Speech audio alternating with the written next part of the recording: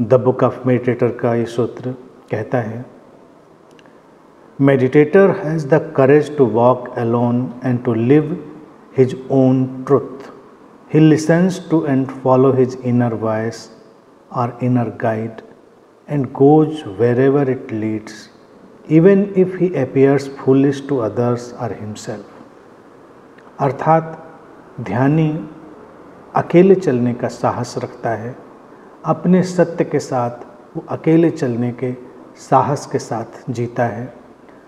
वो अपनी अंतर आवाज़ को सुनता है, उसका अनुसरण करता है और अपने आंतरिक मार्ग, मार्गदर्शन को स्वीकार करता है।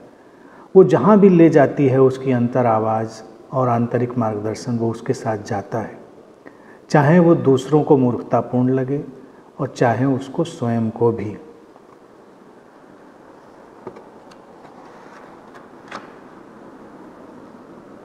सुंदर बात है और ध्यानी के लिए एक, जो शैली होनी चाहिए जीने की, उसका इसमें बड़ा अच्छा वर्णन है कि अपने सत्य के साथ अकेले चलने का साहस। अब तुम्हारी समझ तो तुम्हारी होगी ना।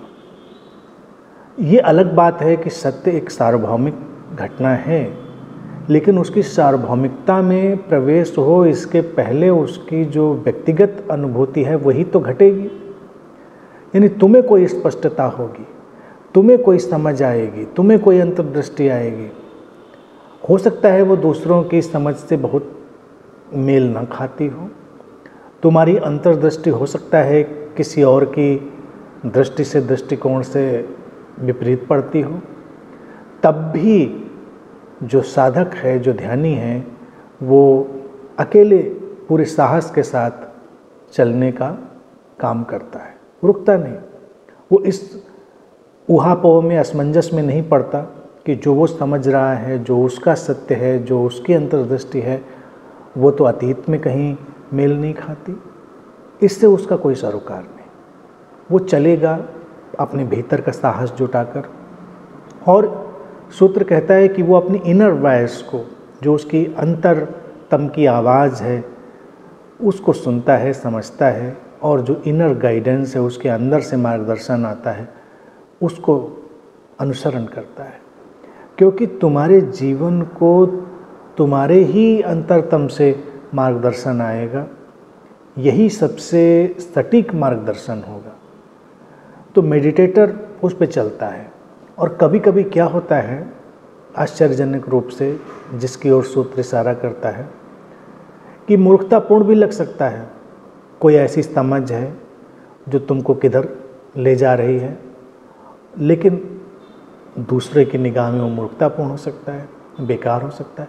और यहाँ तक कभी कभी खुद भी व्यक्ति को लग सकता है कि क्या है, ये तो कुछ समझ में नहीं पड़ता, इसका कोई तुक तान तो समझ में नहीं आती। लेकिन जीवन में अगर दृष्टिपात करके देखें बड़े बड़े आविष्कार बड़ी बड़ी रचनाएँ, जो भी बड़े बड़े दर्शन हैं, वो ऐसे ही आए हैं, लीक से हटकर आए हैं। लीक पर चलने में कोई अंतर विरोध नहीं है, इसीलिए ज़्यादातर लोग लीक पर ही चलते हैं। इसीलिए जो मेडिटेटर है, उसकी घटना, ध्यानी की घटना इतनी व्यापक नहीं है, क्योंकि लोग लीक पर ही चलना चाहते हैं, वो उनके लिए सहूलियत वाला है। क्योंकि वो दूसरों की निगाह में, अपनी निगाह में मूर्ख सिद्ध होना नहीं चाहते। अब दूसरे अगर तुमको हमेशा सही माने तो इतना तय है कि जीवन गलत हो सकता है। तुमको अपना जीवन अपने ढंग से सही करना है, न कि किसी दूसरे के ढंग से। और मेडिटेटर ध्यानी हम कहते ही उस व्यक्ति को हैं, जो अपने जीवन को स्वयं सही करने की यात्रा पर निकला है। किसी दूसरे के अनुसार सही नहीं कोई बाहर की सत्ता उसको सही नहीं बताएगी। इसीलिए वो साहस जुटाता है और अपने आंतरिक मार्गदर्शन, अंतरतम की आवाज़ के साथ एक समस्वरता बिठाता है और चलता है। जहाँ ले जाए, देखा जाएगा। अगर वो आंतरिक मार्गदर्शन उसके जीवन में शांति ला रहा है, प्रसन्नता ला रहा है, एक संतुलन ला रहा है तो इसमें जाने जैसा है। भले अभी वो समझ में नहीं आ रहा है कि वो किधर जा रहा है लेकिन फिर भी उसके गंतव्य, उसके लक्ष्य धीरे धीरे स्पष्ट होते हैं और जीवन में एक नई सुबह होती है। जानी पहचानी नहीं हो सकती, वो विस्मित करने वाली हो सकती है, लेकिन ये नई सुबह ही हर साधक के लिए वो मंजिल है जिधर वो बढ़ रहा है और ये आंतरिक मार्गदर्शन और अंतरतम की आवाज़ उधर ही उसको खींच कर ले जाती